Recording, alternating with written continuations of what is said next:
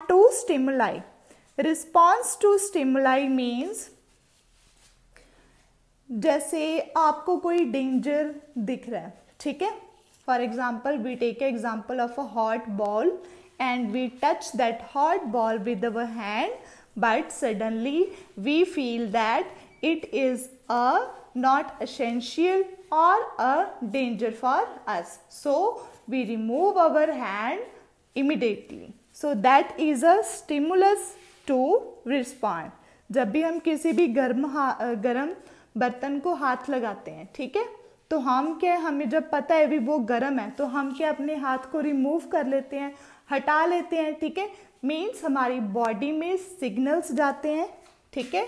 कि वो जो चीज़ है, वो हमारे लिए हार्मफुल है। तो हम इमिडिएटली अपना हाथ हटा लेते हैं, ठीक है? एक और एग्जांपल होती है, जब आपका कोई भी फेवरेट फ़ूड होता है, आपके सामने तो आपके मुँह में क्या आता है? पानी आने लगता है, ठीक है? So that is also the example of stimulus response to stimulus next is third example is जब आप पूरे डार्क रूम में से बाहर जाते हो सनलाइट में, ठीक है? तो कुछ टाइम के लिए आपको फिर भी जो साफ़ दिखाई नहीं देता डार्क डार्क दिखाई देता है।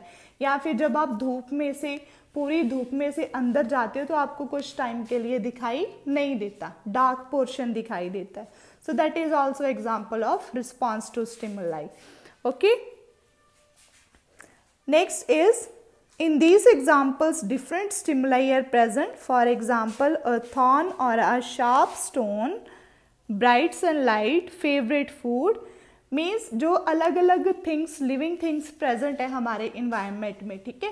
वो क्या है? अलग अलग स्टिमुलस और रिस्पॉन्ड शो करेंगी, ठीक है? जैसे प्लांट्स हैं। प्लांट्स में जैसे आप सनफ्लावर का एग्ज़ाम्पल लो, ठीक है?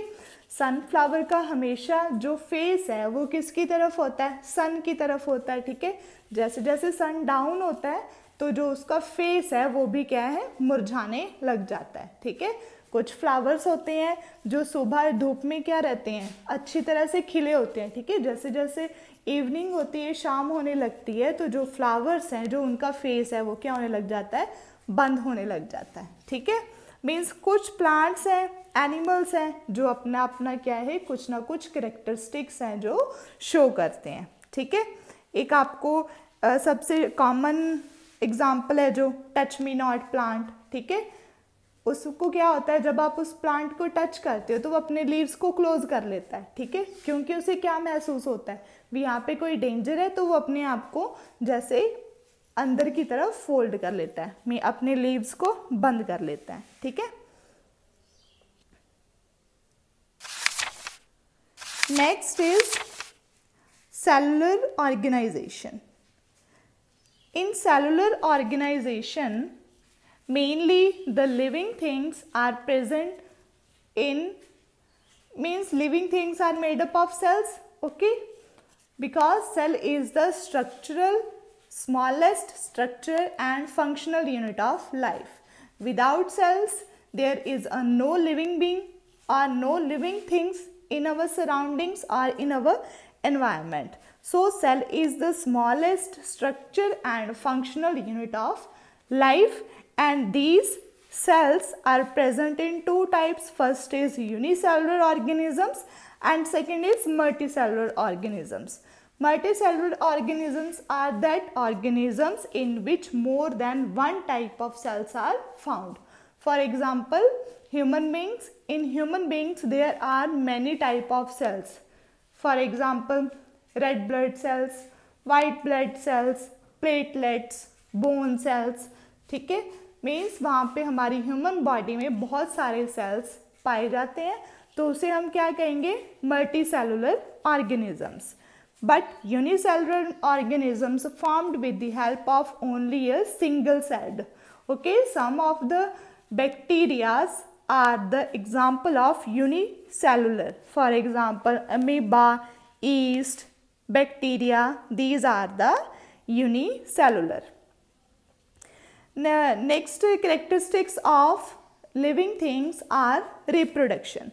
Means, what is the, firstly, what is the meaning of reproduction? Reproduction means giving a birth to the babies, okay, or giving a birth to their young ones by reproduce or a reproduce a small babies.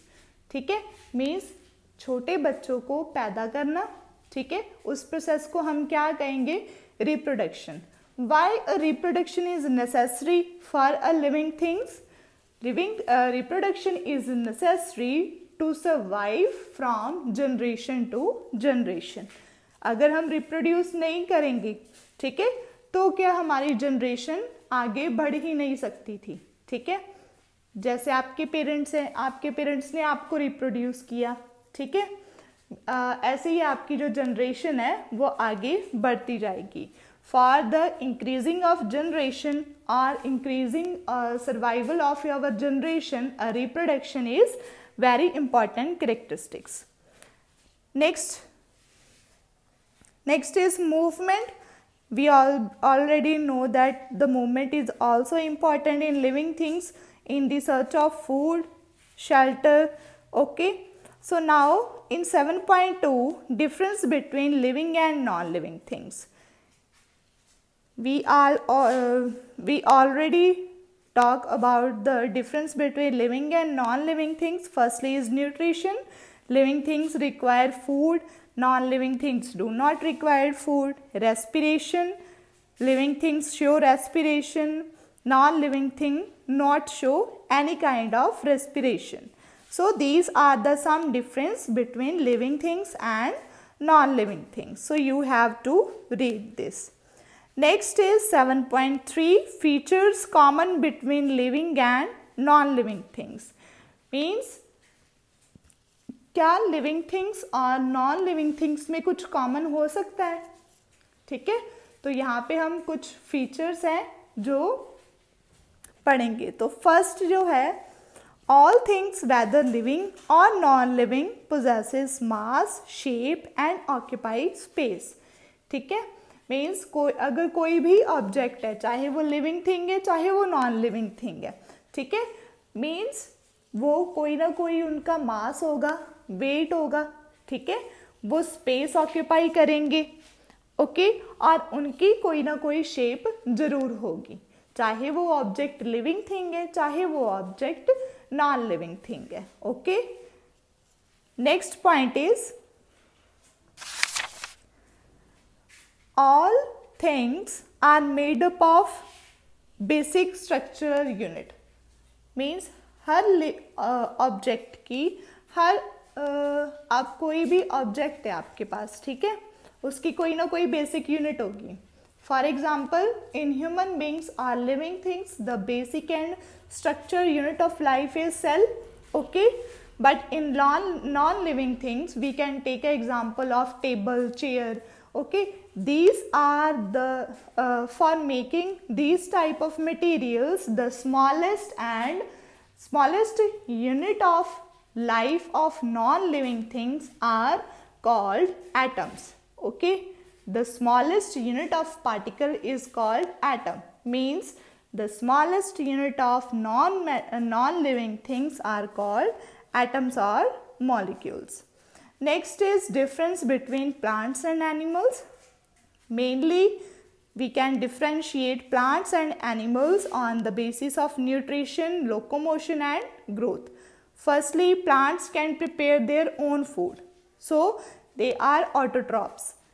Animals depend on their depend uh, cannot prepare their own foods they depend upon others so these are heterotrophs next is locomotion we all know that plants cannot move from one place to another place but they can grow through a different parts of a trees or a plant like increase in uh, like a movement in leaves stems and branches or in roots in the search of food water and minerals from the soil.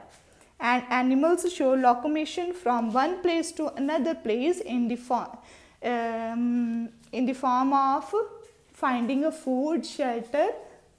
Next is growth Plants can also show a growth in particular regions. Next is animals also show a growth or increase in size. So this chapter is very easy for us because in this chapter we only learn the characteristics of living things or difference between living things and non-living things.